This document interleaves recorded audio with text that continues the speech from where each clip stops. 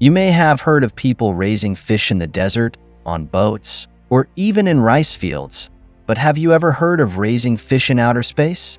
Many people may think this is an unrealistic concept. However, this approach has moved from concept to reality. On April 25th this year, China announced the successful launch of the Shenzhou 18 spacecraft. But this time, the astronauts also have a special mission, which is to carry a special creature zebrafish and breed it on the Chinese space station. Once this news was released, it immediately shocked the entire aerospace industry. So, in today's video, we will explain why China wants to take fish to space to raise them, how do fish survive in the space station, if you like our video content, please click to subscribe to my YouTube channel so that you can receive all our latest video content. Now, let's get into today's topic.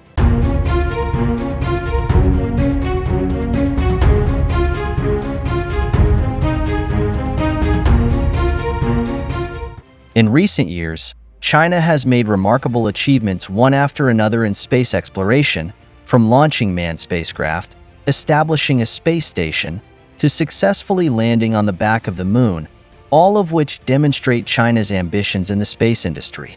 Of course, space exploration not only requires advanced technology, but also faces many practical challenges.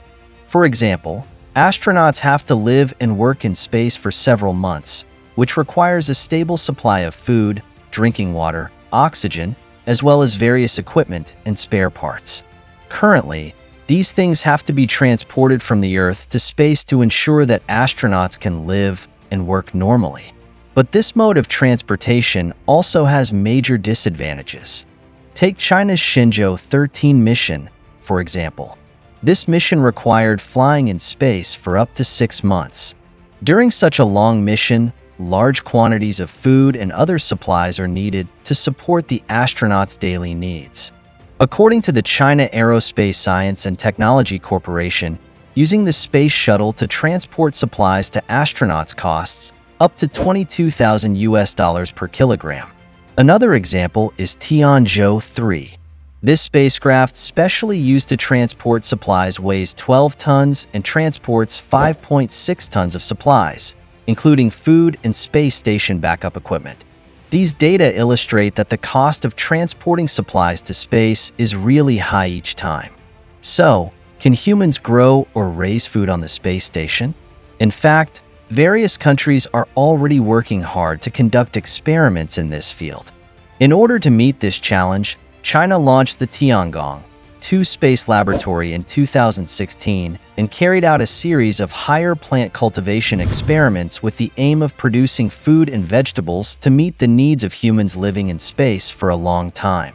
It is reported that Tiangong 2 is equipped with a microincubator developed by the Shanghai Institute of Technical Physics, Chinese Academy of Sciences, in which rice, a typical representative of food crops, and Arabidopsis, a typical representative of green leafy plants.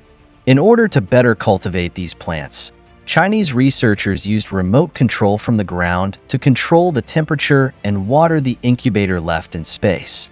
By 2019, six rice plants and 30 Arabidopsis thaliana plants were successfully planted on Tiangong 2, and the entire process of these two plants from germination, growth, flowering to seed setting in space was completely observed.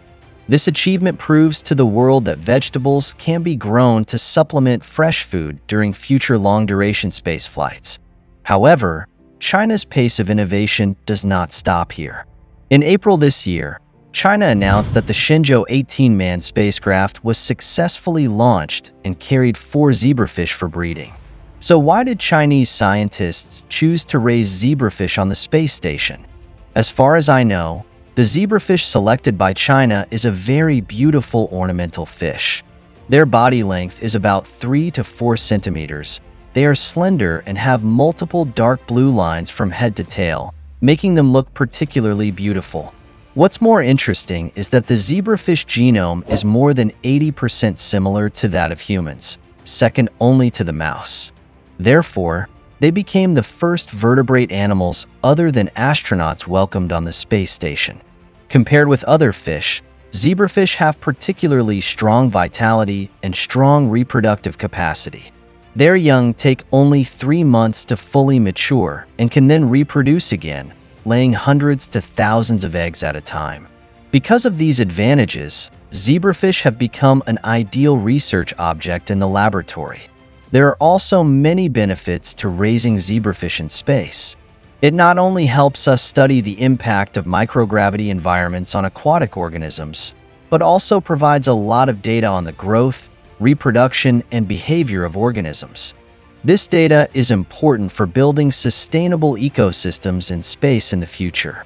But we all know that outer space is a weightless environment and there is not enough oxygen supply. So can this fish survive? In fact, Chinese scientists have solved this series of problems. In order to allow zebrafish to survive in space, Chinese scientists specially built a space fish tank for them. However, considering that Chinese astronauts have a tight schedule on the space station, in addition to daily maintenance work and exercises to maintain physical condition, they also have to conduct a large number of space station experiments. Therefore, it is unrealistic to expect astronauts to feed fish several times a day. To solve this problem, scientists designed an automatic feeding device.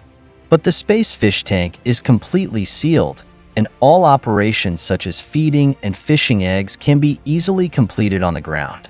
But in the weightless environment of space, these operations will become very difficult. In addition, space fish tanks also need to automatically control environmental parameters such as oxygen balance, temperature, and lighting. These are all to ensure that zebrafish can survive and reproduce in a stable and suitable environment. After nearly a year of research, Chinese scientists have finally developed an intelligent system that can automatically monitor the growth changes of zebrafish and feed them automatically. It was not until 2019 that the entire space fish tank sample was finally completed and shipped to the Tiangong space station this year for experiments on space fish farming. But there is another very important factor in this ecosystem sunlight. However, there is no regular day and night and natural lighting on Earth and space. In order to solve this problem, Chinese scientists simulated a living environment similar to a terrestrial pond, using hornworts and zebrafish combined to allow them to grow smoothly in space. Hornwort is an algae that can produce oxygen through photosynthesis for fish to breathe.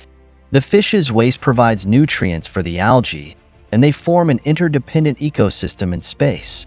To simulate the day-night cycle on Earth, scientists used LED lights to provide light to the hornwort algae. In this way, hornwort can photosynthesize and produce oxygen. Zebrafish use this oxygen to breathe, forming a small cyclic ecosystem. During the ascent of the manned spacecraft, the ascending aquatic support device will provide LED light sources for hornworts to maintain normal photosynthesis of hornworts and ensure that the oxygen content of the aquatic ecosystem is maintained at normal levels to meet the survival needs of zebrafish. After solving the problem of sunlight, scientists have to face the problem of water.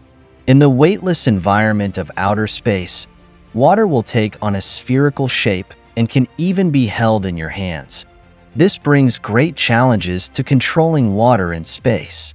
To prevent the water from floating around, scientists designed closed systems that ensure the water can't escape. In order to facilitate feeding, Chinese scientists also designed a special fish food. This fish food is like toothpaste, and a syringe will automatically inject a little bit of it every day and feed it to the zebrafish. When these zebrafish eat this special fish food, the excrement produced is transported through pipes to the hornwort, providing nutrients and promoting its growth. According to Chinese scientific research experts, the preliminary plan for the experiment is to allow zebrafish and hornworts to operate stably in space for a month to ensure their survival, and then obtain some experimental samples, such as fish eggs and water samples. As for whether the experimental time can be extended in the future, it still needs to be decided based on the actual situation in space. To my knowledge, zebrafish can reliably simulate and predict human physiological and pathological processes in space research. Microgravity and radiation in the space environment have a great impact on the human body, such as muscle atrophy, bone loss, and blurred vision. Therefore, living in space for a long time will increase the risk of astronauts suffering from leukemia and mitochondrial disorders. But by studying zebrafish, scientists can find ways to deal with these problems. By inducing hibernation in zebrafish, scientists can study their physiological changes in microgravity and radiation conditions and identify ways to protect zebrafish from these environmental stresses.